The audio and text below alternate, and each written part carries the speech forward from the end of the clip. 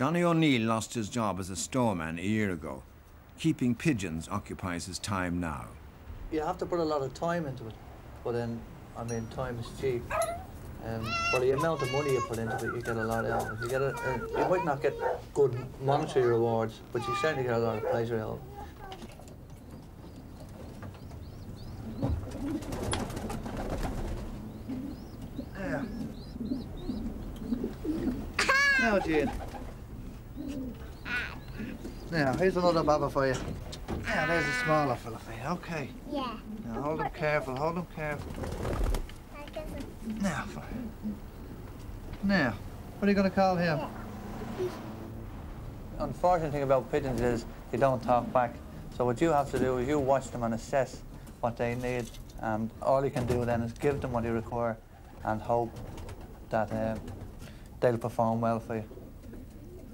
How do you fancy going to Skibbereen?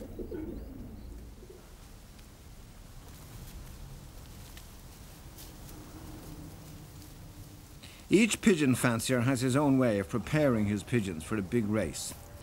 Leo O'Rourke is a great believer in chickweed. Leo has been a pigeon fancier all his life. He picks the chickweed on his way home from his job as a security man. Oh, he's a granddad then. Is he? Johnny and Leo live round the corner from each other. They share a common interest in pigeons.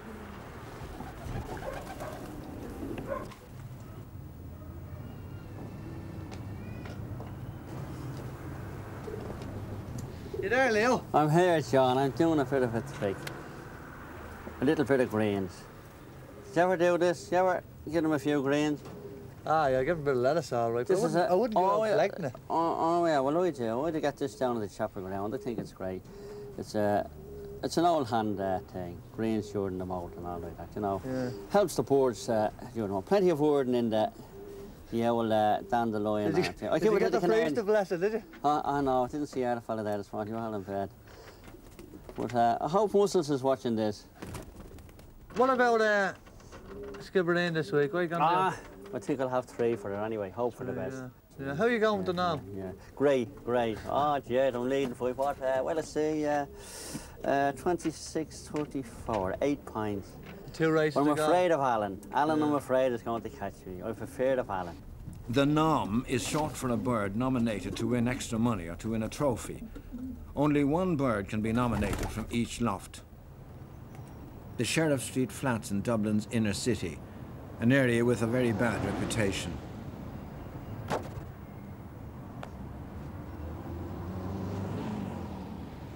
Eddie Moore has a reputation of a different kind, and that's his reputation as a pigeon fancier.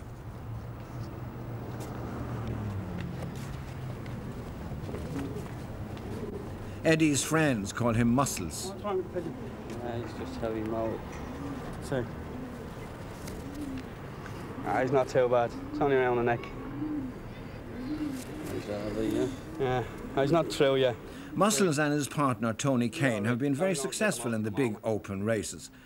This has surprised the rest of the pigeon men. After all, they have gardens, they have bigger and better lofts, and they don't have to cart everything up onto a roof.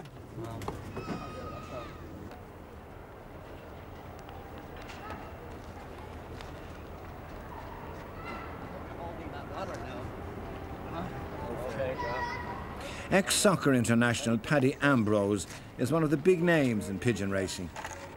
He is curious about the success Muscles is having and he's come along to have a look at his loft. Listen, man. Let's see these pigeons that you're. I'll show you this telling me. checker. This checker that you've been talking about now Yeah. was up on the fed. You know. Eddie is there. The only one that did happen for me this year. And the young birds and anyway. This was six fed. Six Fir- fed, First yeah. club. First club, yeah. He's uh, down through Stuart Cairns pigeons. I mean, Stuart Kant. Yeah, cost, you know, half and half. Yes. Yeah. Are, th- are these off North Road birds now? Yeah, well, the, the, the parents flew North Road Yeah. anyway, you know. Yeah. That's a grand pigeon. Do you handle that, John? Yeah, you've no problem with that building blowing over or anything like that. Well, it hasn't yet, and anyway, Huh? it's up here seven year, you know. Yeah. Well, I noticed the pigeons coming in from training there that uh, They were landing on, is that Jimmy Delaney's loft? Yeah, that's Jimmy's, yeah. Yeah, they got a great drop here. You have a colossal Yeah. advantage compared to, say, the lads that are at more or less ground level. Yeah. Yeah, uh, is that is that the secret? Would you say, or part of it that you, you Oh, get great trapping? It's good trapping, yeah, Yeah. but you can get a bad trap as well, you know, right. like. yes, yeah. I advise everybody to, to, to kids when they're starting up is to keep a little record of book and that, you know. And you can go back now. Oh, we've lads in our club that goes back for years and years. He can tell you who won a race in 56, wind, everything else, which is very good. very it's really for your yeah. own And you can say, oh yeah, your own performances and, and who won the race. Now we write down there uh, who won last, last week's race and the time and uh, usually the velocity. And you can compare them and that. Sit down at the end of the year and Oh yeah, you can browse through them. But no, when you're waiting in the yard for birds of a Saturday, uh, you can take down the old book and you're going to maybe Youghal. And you just look back Youghal two years ago and you see the Williver. And you can expect birds around that time, but they come before that.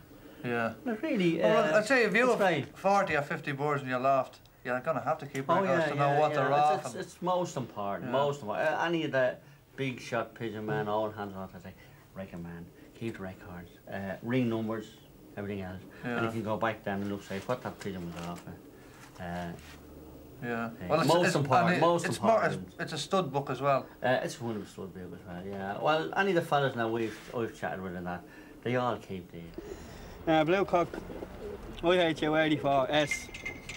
7, 1, 5, 8, 6.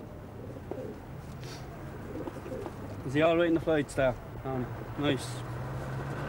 Yeah. Well, you pilling him or what? Yeah, pilling him. You can back pigeons all the way from 10 pence up to 5 pounds.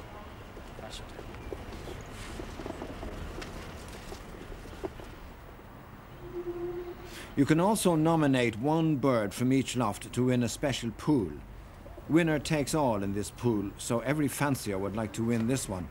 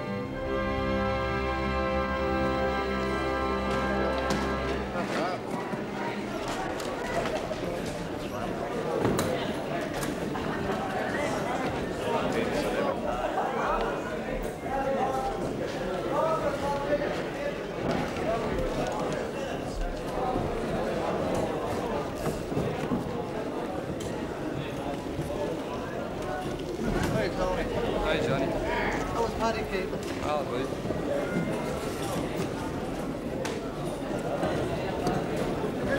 IHU 84S 18857. That's a head.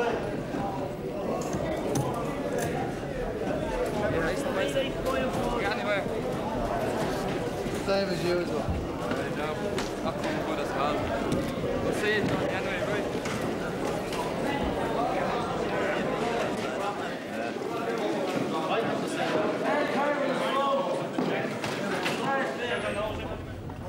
There's been a queue here since the doors opened at 8 o'clock this morning.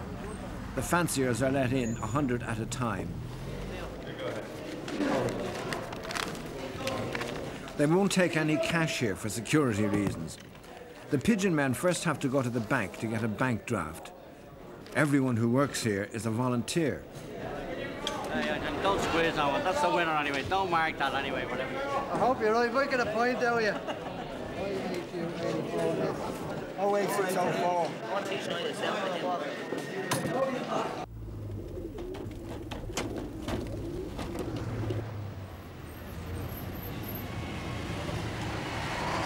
Over 8,000 birds are being sent off today. To encourage the birds to fly home quicker from a race, some fanciers use what's known as the widowhood method. This means the sexes are separated and the cocks only see the hens when they return from a race.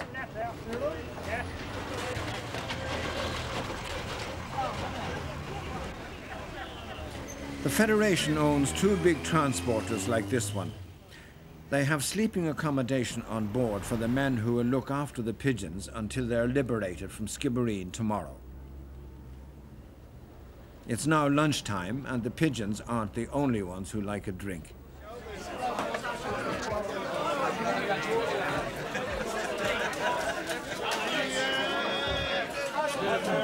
Year I think. There's been a lot of young birds lost up the country, but the weather hasn't been right, and some of the training tasks. I lost more training than I did racing this year. I got one bad bang out of Port I lost 15 pigeons. I've got one or two back myself, and they were cut under the wing. Now, you might have cut the heads when you were coming home, you know, or something happened, you know, or they hit a word or something, you know. You always got them back forward, yeah. I thought he was getting his way with a sneaky toss last Wednesday. last Wednesday, I went off. I took a few birds, I took a few baby ones away with them. They'd only had three tosses. They were in um, East Wall. I brought them down to Naas and then into the Curragh. So I said I'd take them to Wexford. So I brought 14 and all. I let the seven young ones out. I haven't seen one of them since. The older ones came all right, so I didn't get away with me sneaky toss. No,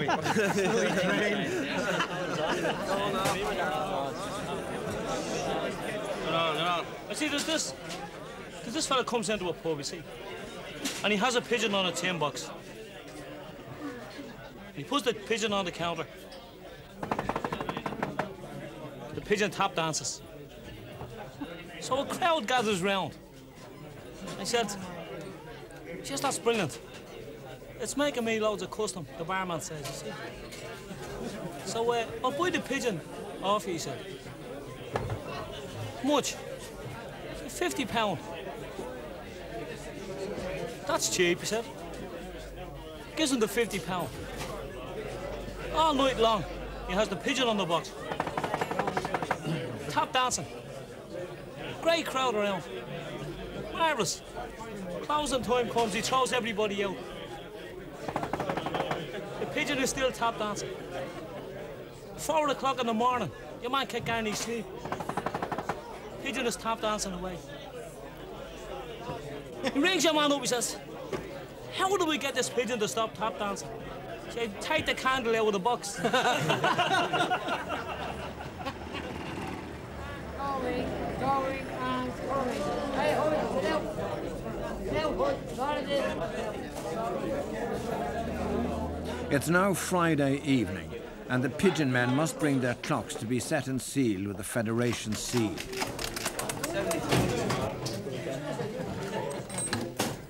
After the race tomorrow, a thimble containing the rubber ring from the pigeon's leg will be inserted into the sealed clock.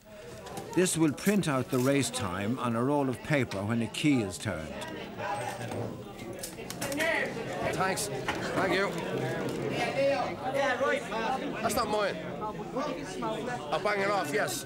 25. 625, yes. I got 25. Oh, you always 25. Okay. Somebody has a Wish everybody, uh, I wish everybody, everybody you just stay quiet for about two or three minutes. Everybody stay quiet. Shh. Shh. Ten seconds. Five seconds. Get ready. Pause. Beautiful. Have They set each other's clocks, so there's no cheating. uh, tea weddy. Where's tea weddy? Yeah, I'll take Yeah, will you give him that? Yeah, that's grand. That's beautiful.